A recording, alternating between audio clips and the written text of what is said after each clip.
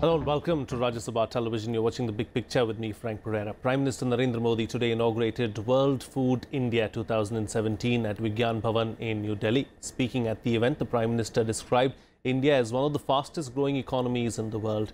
He also said that uh, India launched the Pradhan Mantri Kisan Sampada Yojana to create world-class food processing infrastructure. This will leverage investment of uh, US uh, $5 billion, benefit 2 million farmers and create more than half a million jobs. The Prime Minister made a strong pitch for stepping up foreign investment in the country to global foods companies such as Nestle and Unilever, along with overseas policymakers, highlighting the World Bank's ease of doing business rankings in which India has surged 30 places to 100. On this edition of The Big Picture, we will analyze if India can become a global food processing hub. Joining me on the program today are Alok Sinha, former chairman, Food Corporation of India, Himanshu Vats, senior editor of the Economic Times, SP Sharma, chief economist, PhD CCI, and Aarti Ghai, senior lecturer, Institute of Hotel Management, Pusa. Thank you to all my guests for joining me on this edition of The Big Picture. Alok Sinha, I'd like to begin with you, of course, uh, you know, your opening remarks on uh, the mega event that we saw the Prime Minister launching earlier today.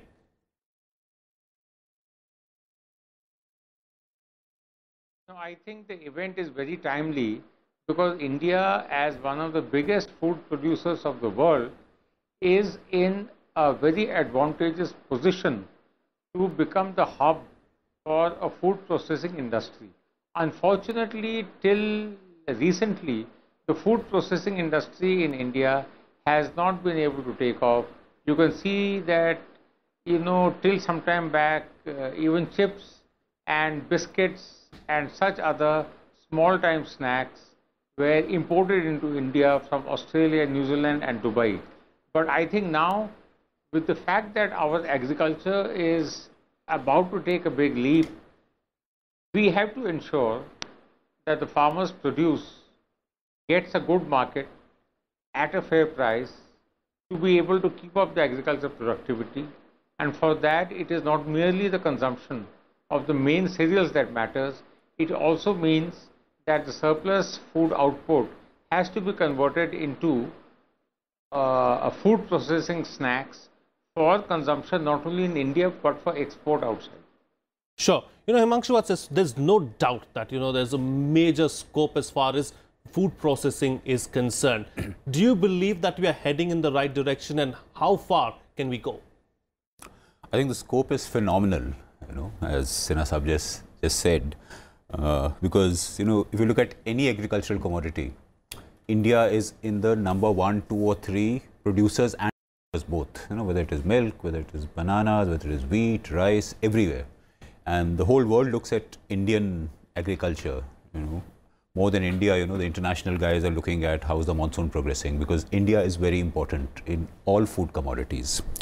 Uh, but unfortunately, we've done precious little in developing food processing because uh, this is a crucially important industry because it directly creates jobs in villages. Uh, it helps the farmer. You know, if you look at the government's mission to double farmers' income by 2022 or something, uh, it cannot come just by giving them higher prices of produce that lead to you know incredible amount of inflation. So it has to be a combination of output, livestock, and food processing facilities. Because what it does is it uh, creates a much bigger market for the farm produce, and for that, what's important is to you know India should somehow fit into the global supply chain system of uh, food processing. And you know the fact that you've had this event here, uh, it, it's a very prestigious event. It's the first time it's happening in India, and the kind of CEOs who have come, uh, that itself shows that uh, we have done the basic policy and environment preparedness to attract these guys. Now it's a matter of uh, you know, signing good deals and supporting them. And I think it's very encouraging that the Prime Minister spent a lot of time in this event, uh, listening to speeches, making one himself, and then going around the exhibition and digital technologies mm, and mm. various shows.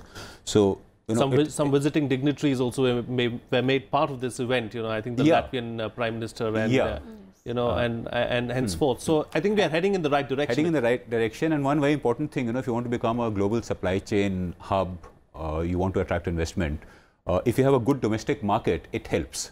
you know, because people do not like to come and invest to export completely. So it's a combination of a good domestic market and you know India's own strengths in food. Uh, uh, we've seen some Indian dishes make waves abroad. I mean, people say, you know, the national dish of Britain is the Butter tikka chicken. from India Yeah, or butter yeah. chicken. Yeah, yeah. So, and I think if you blend Indian skills with international technolo- technologies, uh, you know, anything can happen. Sure, upwards, sure. Yeah.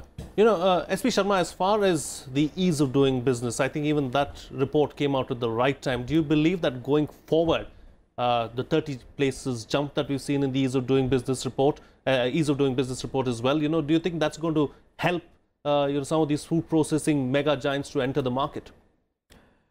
Yes, ease of doing business is very, very important for the uh, food processing industry, not only for the food processing, but all the manufacturing industries. And food processing industry is one of the most important uh, uh, ingredient of our manufacturing process as, as this is also part of the Make in India program, a significant part of Make in India program. And the sector uh, has immense opportunities, but lot full of problems. There are domestic problems also and the international problems also. Like in our exports, we are only 2.2 percent of uh, the global food processing exports. Uh, even uh, USA is 10 percent of the total uh, food processing exports. Why we are not able to generate a lot of exports because of so many issues generated by the advanced economies, majorly by the US and EU in terms of TBT and SPSS measures and they impact our export scenario significantly. And at the domestic front, uh, we have poor uh, warehousing and storage capacities. We need to upgrade the agri infrastructure for the uh, to become a food processing hub. And second is the lesser facilitation by a dedicated agency to the farmers though FSAI is there, FSSAI, but that is also for the post-production facilities. So for the pre-harvest, pre-product, there is lot of uh, a, a lot of need to address them and to guide them to the farmers. Sure. So that is important for the uh, to become a food processing hub. And the other thing is that a uh, lot of inorganic chemicals are used in our uh, agriculture production. So that also needs to be uh, shifted to the uh, uh, organic chemicals. So we should not majorly focus on the inorganic because uh, the advanced economies are identifying the pesticides in our uh, uh, products and I believe there are 67 pesticides found in our products in the food processing products by the SPSS measures. So uh, there are problems at the domestic front and at the uh, global front, but we have immense potential. The potential will start from, from the grassroots level. Firstly, developing the agri infrastructure, which is very very poor, and the uh, gross faci- uh, uh, uh, gross capital investment in the agri infrastructure is very meager actually. We need to enhance the public investments in the agriculture sector. Firstly, to connecting the uh, farms with the mandis so the so the uh, facilitation will start from the connectivity of the farmers with the mandis, then linking them to the uh, good warehouses and and increasing the storage capacities, then increasing the productivity of our uh, farm sector. Then that will go a long way to increase our participation in the global food market and to become a major global hub for the food processing industry. Sure. Artika, you know, from, a, from an academician's uh, point of view, you know, what are, uh, what, what's the limit as far as the food processing sector is concerned? So, uh, from the food production department and from the academics, if I talk about, uh, the food processing can be a major uh, place from where we can start training our students and then they can be a good entrepreneur right from the time when they are into after doing their 12 they are looking forward for the new avenues and this could be a good avenue for them in, to move into food processing units and they can be uh, vast as the government is investing a lot of money into it and it will be a big industry so this would be a very good avenue for them to become a good entrepreneur So, so the scope for the students Is increases is- as far is as very high. Okay, is okay. very high in this You know, let, us look at the challenges really now going forward. Uh, Alok Sinha, you know, where do you think the biggest challenges lie really? Uh, well, you know, Frank, I'm so glad you used the word challenge. You know, my opening remarks were positive because at that point of time I was thinking basically of the agricultural produce from the soil. Now, food, uh, meat, canned meat is a very important item of food processing. And unfortunately, because of stray but very mischievous remarks by some stray, stray public figures against the slaughter of animals has meant that the unproductive cattle is increasingly not being sold in the cattle mandis. You know, it is not being reported fairly that the cattle mandis in North India are getting more and more deserted.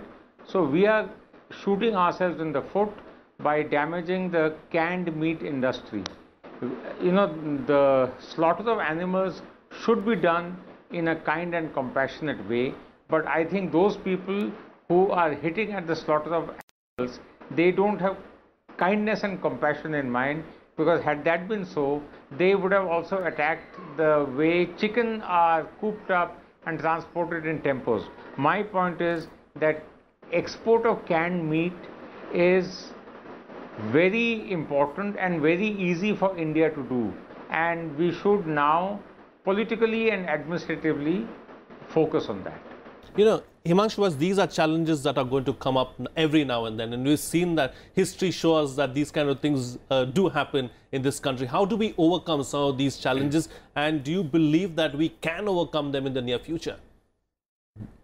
See, one thing about our country is that once a determined action is taken and once there's consensus that something has to be done, it eventually gets done, you know, starting from liberalization or, you know, some very difficult decisions uh, India has taken.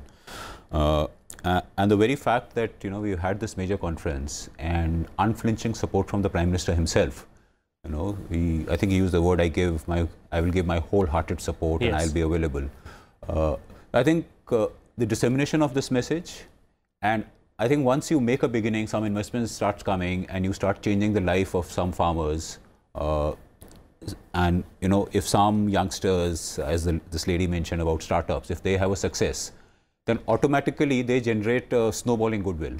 Uh, and I think uh, once you have success, uh, all these problems will get sorted out. As far as slaughtering of animals is concerned, I think uh, there's still a lot of room within the rules of what is allowed, mm. Uh, and that there should be no reason why you know processed meat uh, canning and exporting should be falling. Uh, you know, you can always look for reasons of why this is wrong, why that is wrong. But I think once you have the broad policy framework and the government is what it seems from today's event is in a kind of a mission mode that we want to do it. You know, you had the food processing minister who's been working on this for the last one year. Yes. I've been meeting occasionally, and each time, you know, she's so excited. We're getting this event in India. We're, going to have it. She's from Punjab. She wants to do something for that state. You know, that state's basic economy is agrarian. It's, it's not a source of raw material. It's nothing else. You know. Yes. Uh, food processing, food park. And you know that's a model which I think can be replicated uh, already in you know the few food parks which are successful. Uh, other state governments are keen to do it themselves because you know it offers an alternative to farmers. You know you're used to the same crop, low yield, small land holdings, and then comes a food park where you go to a different crop which also replenishes the soil nutrients. It uh, it leads to better water management. There are all kinds of good agricultural practices, modern uh, technology that comes in. Uh, so I think there would be a transition barrier from, you know, the way agriculture and food processing has been done, with not much focus on quality, a lot of you know loose approach to it. But uh, the moment you get these big investments, you know, one good thing that happens when a big company, Indian or foreign, comes in, they are very, very law abiding. You know, sure. Whatever the image might be. You, you know, talking about mm. big companies, mm. who are some of the big players in the industry right now? Uh, you know, you already have people like Nestle, Pepsi, all, all these big, big brands. They, they are there. Uh, Cargill is one. Cargill is yes. And I, I was speaking to you know Cargill's Asia Pacific head last evening, and one of the points he made was that uh, you know he's very happy about uh, this FSSAI standardization that is coming because otherwise you had competition who would you know use any oil, do anything, and sell something cheaper. Uh, he already he one of the things this company faces is that you know they abide by laws like if a truck should have one ton, they will load one ton. Hmm. But a rival might overload it completely, yes. and that is not enforced by the authorities. Uh, same for you know effluents, waste. A big company will abide by abide it. by the rules. Yeah. But there, many of these small unorganized players, I won't say they are villains or crooks, but they're not regulated. Sure, sure. So, so as soon as you have more of these big companies who are used to international standards, and you know if you want to make India a global hub, then you have to abide to some abide standards. by that. You have to deliver quality products, which Indians are very much capable of. But you know if if there's no strict enforcement of rules. And I think that is one challenge, uh, the regulatory environment, the implementation. Uh, you know, if an entrepreneur is related to somebody powerful, so be it. If he violates, he should be booked. And you know, yeah. You know, SP Sharma, talking about uh, startups and, you know, some of the other smaller uh, players in this particular industry that might come up in the near future, do you believe that they can compete with someone like, uh, you know, an MNC like a Pepsi or for that matter a Nestle or any one of these big multi-billion dollar giants?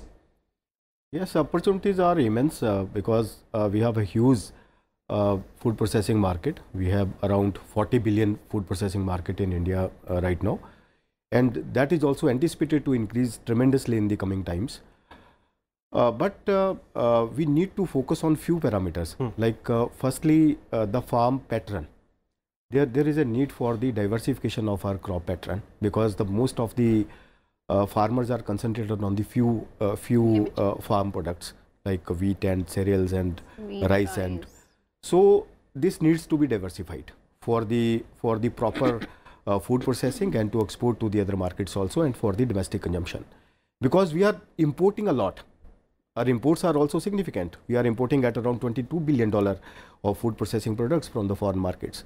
So if there is diversification in the uh, crop pattern and we are substituting our import scenario also, then there are a lot of opportunities for the entrepreneurs to uh, manufacture from India and to export to the other markets. So there's a big scope so, for make in India in this sector is what yes, you're suggesting. Yes, yes, yes. Okay. So with the diversification, I believe uh, there must be focus on the second green revolution. Hmm. First green revolution was wood. That, that, that gave a good push to India's growth trajectory with the agriculture production. But at this juncture, when the total uh, food habits have been changed, not only in India but across the world, so we also need to diversify our crop pattern with a good uh, green revolution that will concentrate not only the traditional food items but also the newer pattern and newer uh, seeds and new technology and increased productivity uh, as compared with the other uh, good global uh, giants like USA, China, uh, Netherlands, Germany. These are exporting lot and their their export scenario and their participation in the world food processing is also very very significant.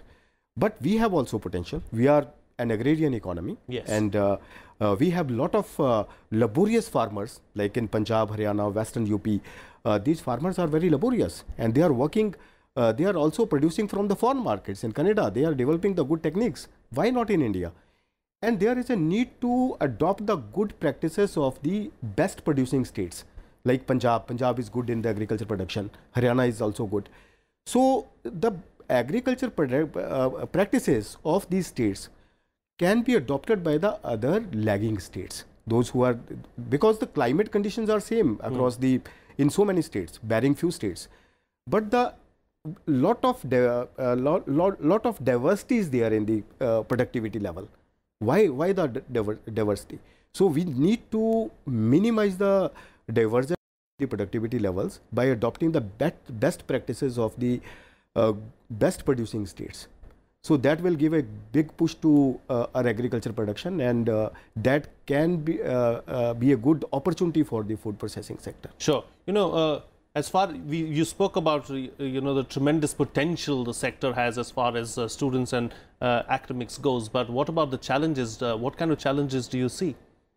So uh, regarding the challenges, I think there need to be much more food processing training uh, departments or the training uh, institute should be opened up. Uh, to add on to what uh, sir is saying that regarding the best practices being used in the best uh, the states especially the the food processing units are concentrated more over the coastal areas rather than uh, in the areas like up or punjab where the food product is uh, food produce is good so uh, the training institutes need to be uh, developed besides that new technology that is being already utilized in the other countries can be brought in and can be taught to the students for in these training institutes. So that the skill sets improve. Skill sector needs to be improved into the uh, food processing. Besides that, food processing is a very slowly and silently growing industry. At the moment, are um, about 10 uh, million, uh, 10 billion market. It is a 10 billion uh, dollar market, and it has a scope of about 540 billion dollars by about uh, 2020. So it is growing at a very slow pace, but it has immense Potential, scope yeah. and potential, and even the students would like to go into this. Okay, sure. You know, uh, final closing comments from all my guests now. So I'm going to begin with uh, Alok Sinha. You know, everyone's been talking about best practices. We've seen uh, Milk Amul show us the way really as far as processing of milk is concerned. Can that be adopted with some of the other food products as well? You know, my uh, my view is that you know, for example, in Indian snack, Haldiram, Bikanerwala, and other such companies are doing a tremendous job. But I think the system as a whole treats them as the poor cousins of Pepsi and Coke and Nestle and Lay's and things like that. Amul has shown that in milk and dairy products, the Indian model is as good as any in the world. And after the sanctions were imposed by the European Union and the USA on Russia, Amul has been exporting so much of dairy products to Russia that it has resulted in a geometrical leap in Amul's turnover. I think similarly, if the system as a whole, I'm not blaming the government or anyone, but if the system as a whole were to encourage the Haldiram type of entrepreneurs in India to better package and better brand their products, it could be exported because I've been to some of the best restaurants and bars overseas and I've seen that now, if I may use a color term white, the white man prefers Indian dry snacks with his drinks and not so much as the western one. I think there's a world to be won over if we give tremendous encouragement to the Indian entrepreneur. Okay, sure. You know, uh, Himanshu, what's your concluding remarks on the program? You know, we've heard uh, Alok Sinha say that the, the, the world is changing as far as Indian snacks are concerned. Yep. Can we take that to the next level? Yeah, uh, in fact, Indian consumption is also changing. You know, if you go to any of any modern store in any market in Delhi, you'll see so many of these, you know, ready-to-eat kind of packed food where you just boil and you have, you know, chana masala ready. You can have dal ready. You know, anybody can boil it. And the way lifestyles are changing, the way people's working compulsions are there, you know, there's enormous scope to get people into buying such products.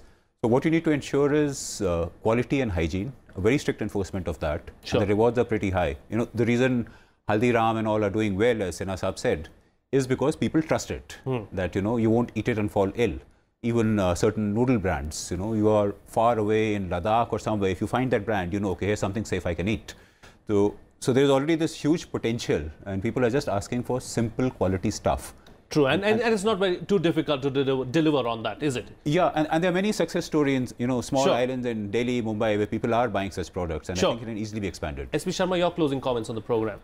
Uh, yes, I would like to submit that uh, uh, there is a need to strengthen the university industry linkages y- uh, for uh, to create center for excellence for the food processing sector, because uh, with the centers for excellence for the food processing know-how, that will be a uh, that will give a big push to the uh, food processing sector because Sure. there is a lot of uh, uh, need for awareness to the farmers and to the food uh, processing units for the international practices and the uh, to generate good productivity and to generate good uh, production and Right. to export to the other markets. Uh, That will be a great thing for for creating the centers for excellence at the state level and at the district level. District level as well. All right, Yes, Artika, your concluding remark on the program. So, uh, such promotion, when connecting it to the university, such promotion and some scholarship programs could be uh, further enhanced, and some uh, bank loans and etc. things can be done for the young entrepreneurs to come up with their ideas and to promote this um, food processing units into a smaller, starting from a smaller unit, and then uh, increasing it to bigger as and when their